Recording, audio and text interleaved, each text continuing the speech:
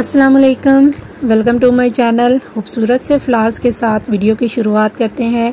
मोगरा प्लांट के ऊपर देखिए, काफ़ी अच्छी फ्लावरिंग आना शुरू हो गई है। इसकी मैंने वीडियो आपके साथ शेयर की थी कि आप इसको कौन सी खाते हैं कि आपके प्लांट के ऊपर जो है अच्छी फ्लावरिंग आना शुरू हो जाए। तो वीडियो का लिंक जो है वो मैं डिस्क्रिप्शन में ऐड कर दूँगी। आप चेकआउट कर सकते हैं कि मैंने इसको कौन सी खाद दी है। और आज की वीडियो में मैं आपके साथ परमानेंट प्लांट की कटिंग लगाना शेयर करूँगी। चैनल पर पहली बार आ रहे हैं, चैनल को सब्सक्राइब और वीडियो को लाइक और शेयर ज़रूर कीजिएगा। उम्मीद है कि वीडियो आपके लिए हेल्पफुल रहेगी। तो जो हमारा परमानेंट फ्लावरिंग प्लांट है, ये है बुगन वेलिया इसकी आप कटिंग जो है कभी भी लगा सकते हैं। सिर्फ़ बहुत ज़्यादा ठंड और बहुत ज़्यादा गर्मी में इसकी कटिंग नहीं ग्रो होती। इसके अलावा आप इसकी कटिंग जो है तकरीबन सभी जो है टाइम पे लगा सकते हैं। ज़्यादा बेस्ट टाइम जो होता है मार्च से अप्रैल तक का और इसके अलावा बरसात में आप इसकी कटिंग लगा सकते हैं। तो मेरे पास ये जो है ऑरेंज कलर का प्लांट है। इसके ऊपर ऑरेंज कलर के फ्लावर्स आते हैं। समर और विंटर दोनों में इसके फ्लावर जो है, बहुत अच्छे से खिलते रहे हैं। मैंने आपके साथ।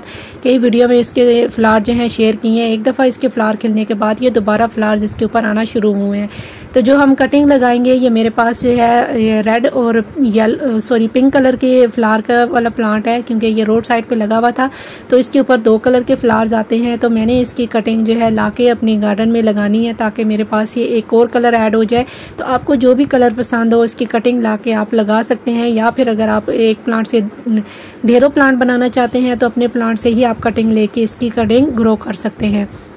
तो मैंने यहाँ पे काफ़ी सारी कटिंग इसकी ली है ताकि जो है अगर इसमें कुछ कटिंग ख़राब हो भी जाएँगी तो कुछ ना कुछ हमें सक्सेस रेट जो है वो ज़रूर मिलेगा। अगर हमारा इसमें से एक प्लांट भी तैयार हो जाता है तो बिल्कुल फ्री का प्लांट हमारे गार्डन में ऐड हो जाएगा और इसके ऊपर एक ही प्लांट के ऊपर दो कलर के फ्लावर्स आते हैं तो ये काफ़ी खूबसूरत जो है फ्लावरिंग प्लांट होता है तो आप इसको जो है ज़रूर अपने गार्डन में ऐड कीजिए। तो जितनी कटिंग थी मैंने ला के पानी में डिप कर दी है ताकि इनके अंदर मॉइस्चर जो है वो मेनटेन रहे।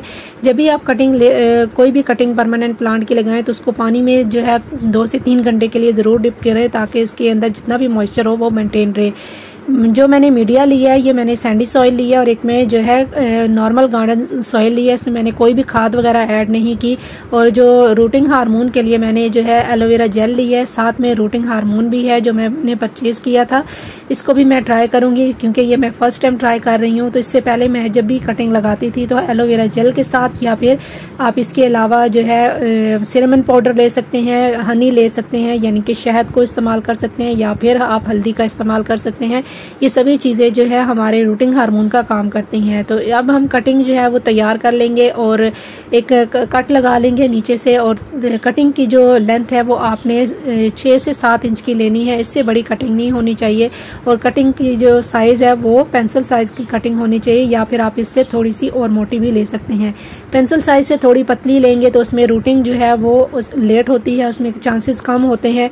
और कटिंग कोशिश कीजिए कि पुरानी स्टेम होनी चाहिए जो ब्राउन कलर की स्टेम होती है। ग्रीन स्टेम में जो है जो ग्रीन कलर की इसकी स्टेम्स होती हैं नई नई शूट्स जो निकलती हैं उनमें रूटिंग जो है वो बहुत ए, कम होती है उनमें चांसेस कम रहते हैं। तो पुरानी कटिंग जितनी भी होंगी उसमें चांसेस ज़्यादा रहते हैं हमारे कटिंग लगने के। तो यहाँ पे मैंने कटिंग सारी तैयार कर ली है। ये मेरी तकरीबन छः से सात इंच की कटिंग है और इनको मैंने दोबारा पानी में डिप करके रखा है ताकि इनके अंदर जितना भी मॉइस्चर है वो मेंटेन रहे। इसके अलावा आप इसको पानी में भी ग्रो कर सकते हैं। इसकी कटिंग पानी में भी बड़े आराम से ग्रो हो जाती हैं और इसके जितने भी लीव्स है एक्स्ट्रा वो मैंने कट कर दिए हैं ताकि हमारी जो कटिंग है वो अच्छे से ग्रो हो। इसके ऊपर कोई भी हमने ग्रीन लीफ नहीं रहने देना, जिससे हमारी कटिंग जो है हमें अच्छा सक्सेस रेट मिलेगा।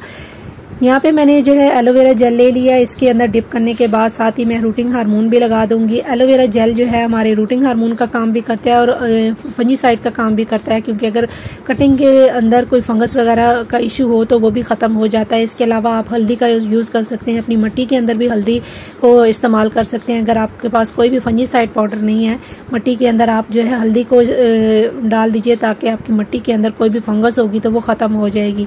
तो सारी कटिंग को मैं इस तरीके से लगा लूँगी एलोवेरा जेल के साथ भी और जो हमारा रूटिंग हार्मोन है उसके साथ भी लगा लूँगी। इसकी जो भी कटिंग की अपडेट रहेगी, वो मैं आपके साथ किसी और वीडियो में ज़रूर शेयर करूँगी कि मेरी कटिंग जो है इनका क्या सक्सेस रेट रहा है, मेरी कटिंग कितनी ग्रो हुई है, क्योंकि कटिंग जब भी लगाएँ, ज़्यादा से ज़्यादा लगाएँ, ताकि हमें जो है कटिंग का जो सक्सेस रेट है, वो ज़्यादा मिले। अगर तीन से चार कटिंग भी हमारी ग्रो होगी, और अगर प्लांट बन गए तो हमारे जो प्लांट है, बिल्कुल फ्री के हैं तो आप नर्सरी से जब लेने जाते हैं तो ये प्लांट जो है थोड़ा सा एक्सपेंसिव मिलता है, और वो भी कटिंग से ही ग्रो हुए हुए होते हैं, लेकिन थोड़े से एक्सपेंसिव होते हैं तो इस तरीके से आप जो है फ्री की कटिंग लगा के अपने नए प्लांट तैयार कर सकते हैं। अगर आपके प्लांट हैं आपके गार्डन में। नए प्लांट तैयार करना चाहते हैं एक प्लांट से तो आप इसकी कटिंग अपने प्लांट से भी लेके लगा सकते हैं। मेरे पास ये कलर नहीं था, ये पिंक कलर और रेड कलर के प्लांट है। तो इसकी मैंने कटिंग लगाई है। अब इंशाल्लाह जब भी ये ये मेरी कटिंग ग्रो हो जाएँगी तो मैं आपके साथ इसकी अपडेट ज़रूर शेयर करूँगी। इसके बाद हमने कटिंग लगाने के बाद इनको अच्छे से पानी दे देना है और इसके बाद इनको हमने शेडी प्लेस में रखना है। इनको डायरेक्ट सनलाइट पे बिल्कुल भी नहीं रखना है। ऐसी जगह पे रखना है जहाँ पर ब्राइट लाइट आती हो और ठंडक बनी रहे। इससे हमारी कटिंग जो है अच्छे से ग्रो हो जाएँगी और जब हमारी कटिंग के ऊपर जो है रूटिंग स्टार्ट हो जाएगी और नई ग्रोथ आना शुरू हो जाएगी, फिर इनको हम हल्की धूप दिखाना शुरू कर देंगे। तो बस आज के लिए इतना ही। उम्मीद है कि वीडियो आपके लिए हेल्पफुल रही होगी। तो इनशाला फिर मिलेंगे किसी और वीडियो के साथ। तब तक के लिए अल्लाह हाफिज़।